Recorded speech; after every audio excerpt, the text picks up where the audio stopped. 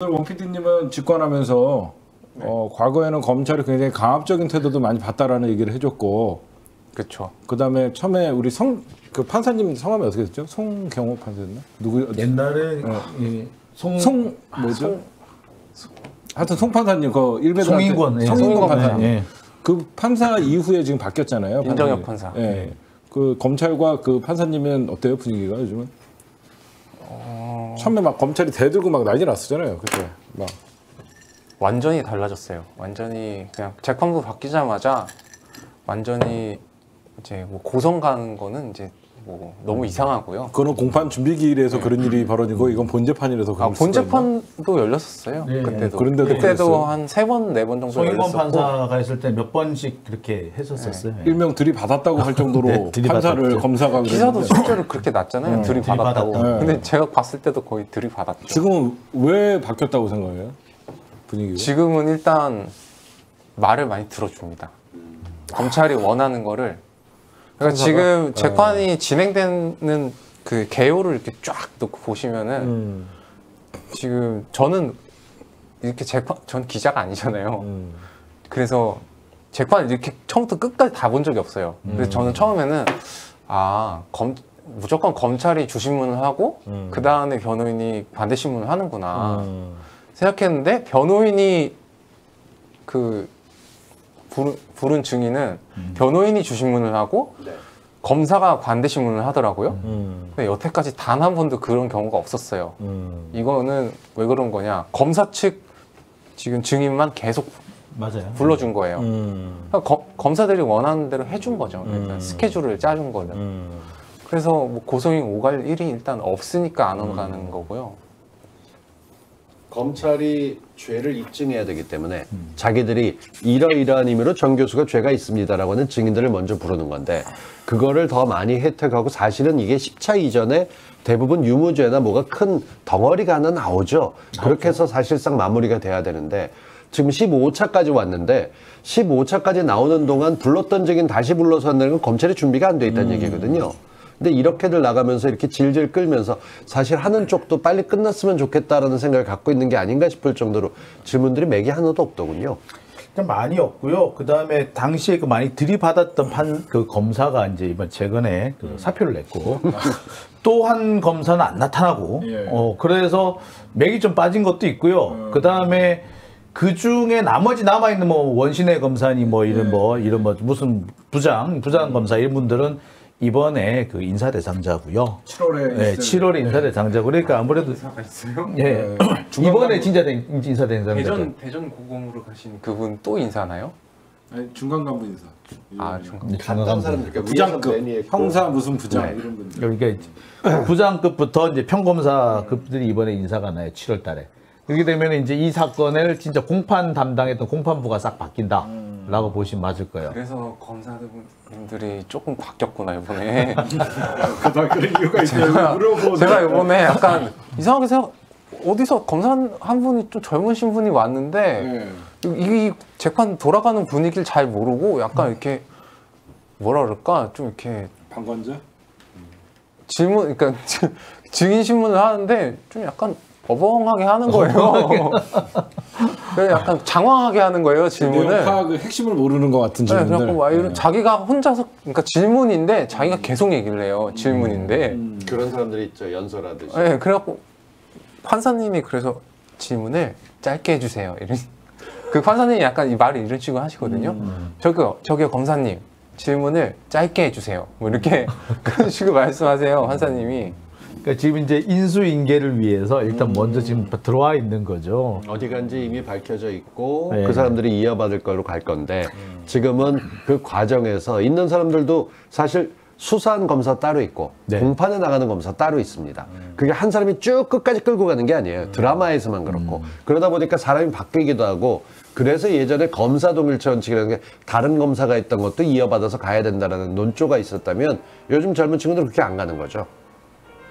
제가 왜 이 말씀을 드렸냐면 제 핸드폰이거든요. 아. 얼, 얼른 끄고 오겠습니다. 아 괜찮습니다. 저 제가 제가 왜 이 말씀을 드렸냐면 여태까지 재판장에서 고성이 오가지가 않았는데 이번에 정경심 교수님 재판에 조국 장관을 부르려고 했다가 음. 재판정에서 언성이 좀 높아졌다는데 네. 그거는 아 그거 제가 제가 요즘에 뭘 하고 있냐면 유튜브에다가 커뮤니티 기능으로 오후 오전 재판을 보고 기사 헤드라인이 어떻게 나갈지 미리 제가 써서 내요. 어, 똑같이 아까 한참? 얘기하셨잖아요. 네. 기사 다 일괄적으로 나간다고. 근데 이거를 한 8개월 들으니까 아 이거 오늘 기사 뭐 나가겠네. 어, 나와요. 네, 네. 알겠더라고요. 그래서 어, 기자 다 됐네. 네. 아 이거 그럼 내가 먼저 데스크죠. 초를 한번 쳐봐야겠다. 그래가지고 데스크네.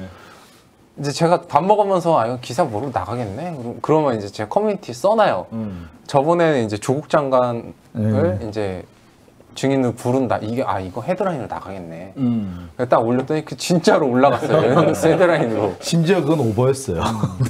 아 그거 오버였어요? 오버로 나갔어요? 왜냐면은 그게 그 조국 장관을 부르겠다라고 했는데 어 이렇게 조국 저 변호인 측에서 아니 본인에 사- 대한 것이거나 친족에 관한 것은 그 거부를 심, 그 증언을 거부할 수가 있는데 불러봤자 뭐 하느냐 그건 거부 순서부터 안 할 텐데. 근데 그거 되겠느냐? 그러니까 이제 그래서 검찰에서 그- 그래서 이제 법원에서 재판부에서 뭐라 그랬냐면 좋습니다. 그러면은 뭐 질문할 건지 질문 사항을 일단 내 보세요. 우리 그거 보고 결정할게요. 네네. 라고 했는데 이 얘기를 안 듣고 이제 헤드라인을 질러버린 거죠. 그랬다가 예. 또. 어. 그래놓고 허겁지겁 내렸어요 또 음. 그래가지고 참 아유 참 아 이게 아니, 연극 보는 것 같아서 제가 계속 지켜봤는데 너무 알기 쉽게 귀에 쏙쏙 들어오잖아요. 장경진 기자님이 말씀하시면. 네. 아, 저는 보고 왔는데 듣는 게 더 재밌네. 그러니까 그래서 보셔요. 최고예요 우리 장경진 기자. 아 이, 이게 어떻게 된 거냐면요. 네. 어 거기 이제 부, 부장 검사님이 한분 네. 계시잖아요. 네. 그분이 이제 말씀하시는 경우가 거의 없어요. 음. 근데 그분은 이제 좀 약간 이제 판사나 변호사가 얘기하고 있을 때, 아 이거는 안 돼. 이런 느낌이 올 때 딱 치고 들어오세요. 음, 강백신 검사 예. 아니 아니에요. 부장 검사 고, 고, 아, 아, 고, 고, 고, 고. 응, 예, 쥐오, 음. 예, 그분이 계세요. 음. 그래서 그분이 이제 치고 들어오실 때가 있어요. 이게 그거예요. 음. 이 그분이 치고 들어오시면은 이제 판사님이 보통은 뭐라 하시거든요. 근데 뭐라 안 하세요. 그분이 치고 들어오시면 고, 고용군 말씀하시는 고용권이 아직도 있어요? 거 직관하는 거예요 지금. 그분이 그게 대- 아니라 고용권이는 왜 우리가 수- 검찰에 저기 최성애 한거 왜 아직도 우리 수- 저기 조사 안 해주지? 구경하신 분이에요. 여기서 말씀하신 맞아요. 고용권. 네. 네. 그 그분이 이제 어 이게 어떻게 됐냐면 조국을 조국 장, 장관을 이제 부르겠다. 음. 이제 검찰 측에서 증인 신청하겠다 했는데 음.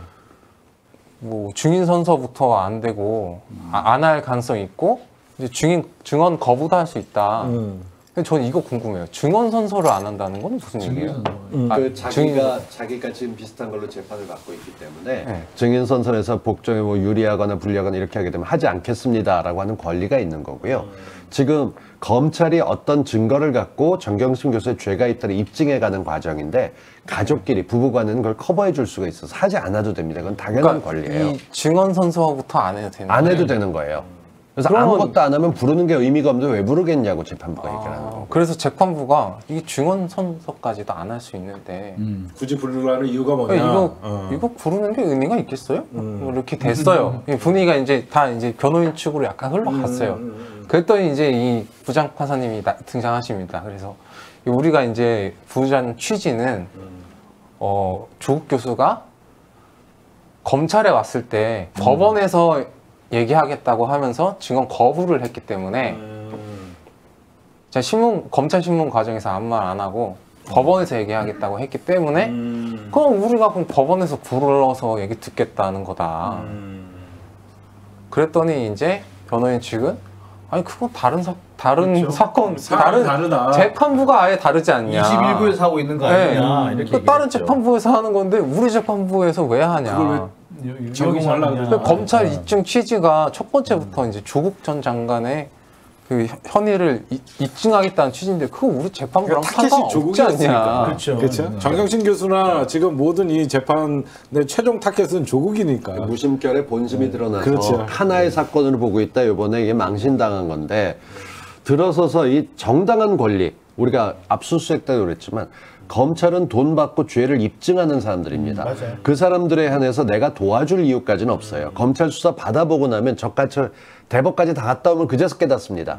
근데 협조를 안 해도 본인 스스로 하거나 자구권이라고 얘기하는 게 정말 기억 안 나는 일을 해야 되는 거거든요. 근데 남편이 불러다가 사이가 정말 안 좋아도 법원에서 그래도 저는 콩밥 먹게 반대로 하는 경우들도 있지만 지금 조국 장관이 그럴 이유가 없단 말이에요. 자기 재판도 있는데 안 부를 걸 하겠다는 건 경찰이 때- 검찰이 때를 쓰고 있는 거고요. 생떼 쓰는 거예요. 이. 생떼 쓰고 있는 거는 받아주면 안 되는 건데 재판부가 그나마 합리적이라는 거죠. 이게 만약에 저희가 총선에서 크게 이기지 않았고 만약에 대패했다면 부르세요 일단 음. 봅시다 하게 되면 포토라인에 출석하는 것만으로도 화제가 되고 그리고 그날 엄청나게 오고 드디어 끌려 나왔다 식으로 위장하려는 건데 이제 그거 안 먹히는 거죠. 그러니까 전에 송인건 부장 판사 같은 경우에는 아니 왜 불러요? 이게 말이 안 되잖아요. 이거 뭐 자꾸 부르려고 그래요. 좀 더 솔직한 이- 분이셨죠, 그러니까 검찰에서 막 대들었던 거고 이번에 이제 재판부는 얘들이 대들겠지.